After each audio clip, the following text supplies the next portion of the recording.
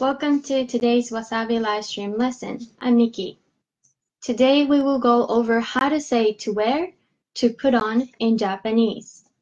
Unlike English, Japanese has a variety of verbs that mean to wear, to put on.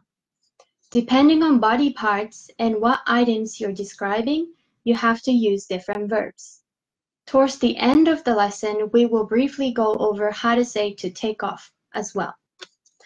皆さんこんばんは。今週もわさびライブストリームレッスンへようこそ、ミキです。今週は日本語で to wear, to put on をどのように言うのかをメインにレッスンをしていきます。英語では to wear と to take off という単語はほぼすべての身につけるものに使えるのですが、日本語では体の部分とものによって使う動詞が変わります。その代表的な to wear と to take off を表す動詞を一緒に見ていきましょう。First, 着る、着る。着る can be used for items on three things.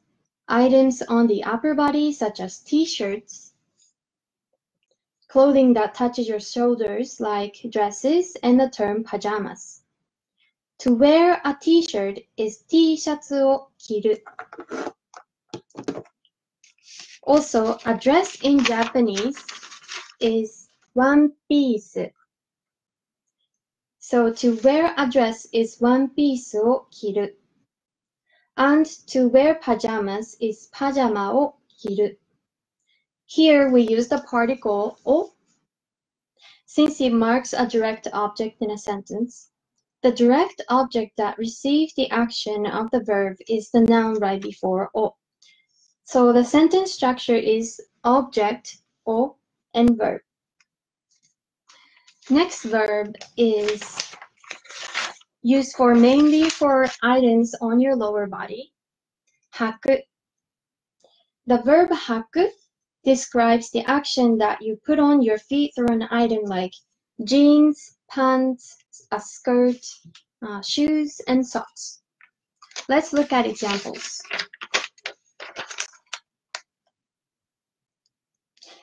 So jeans in Japanese, it's jipan, which comes from the English term jeans pants. Therefore, to wear a pair of jeans is jipan o haku. Jipan. To wear pants, or in British English, to wear trousers, zubon o haku. To wear a skirt, skirt o haku. To wear a pair of shoes, kutsu o haku to wear socks, 靴下を履く. Okay, so the next verb is かぶる。かぶる. The term かぶる itself has a meaning has the meaning of covering something. For example, a yard uh, covered in snow is 雪をかぶった庭.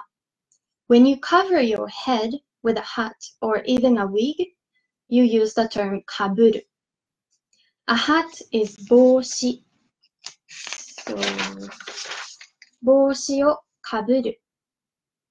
As for wigs in Japanese, there are two different uh, two different words, katsura and wig. So katsura is the type of wigs that are for actors, dolls, and wigs that are used in less fashion-related contexts. On the other hand, wig usually refers to fashionable and trendy ones. So to wear wigs is wig o kaburu or katsura o kaburu. For glasses, sunglasses, or shades, we use the verb kakeru. Kakeru is to hang, so you hang glasses on your ears and your nose bridge. To wear glasses, megane o kakeru To wear sunglasses or shades, サングラスをかける. Also for small accessories like watches, necklaces, ties, gloves, rings, simply use the verb する. Although each has its own verb that goes with it, uh, する can be used with no problems in conversation. 時計をする to wear a watch, and ネックレスをする to wear a necklace. ネクタイをする to wear a tie. 手袋をする to wear gloves. And 指輪をする to wear a ring. And for perfume, perfume or cologne, つける is used. So つける is to stick something. The kanji for this verb is つける on the left side of this kanji is uh, describes a, a person, hito, and the right side is a hand. This symbolizes the act of sticking a material onto something else. So, 香水をつける to wear perfume or cologne. For example,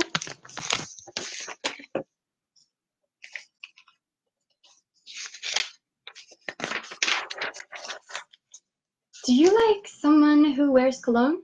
香水つけてる人好き ?I wore too much perfume today. 今日香水つけすぎた。Now that we've learned how to say to wear in Japanese, let's briefly go over how to say to take off. It's easier than remembering to wear and to put on. For all the clothes for upper body and lower body, as well as shoes, socks, hats, wigs, we use the term nugu. I take off a jacket, jacket nugu. I take off shoes, kutsu o nugu. And as for accessories such as glasses, watches, gloves, the term hazusu is used. So to take off glasses, メガネを外す。to take off a tie, ネネクタイを外す。to take off a scarf, スカーフを外す。Well, that's all for today. We've covered quite a few grammar to explain how to say to wear and to to take off in Japanese. But please let me know if you have any questions and I'll see you next week. Bye! ご視聴ありがとうございました。それではまた来週。さようなら。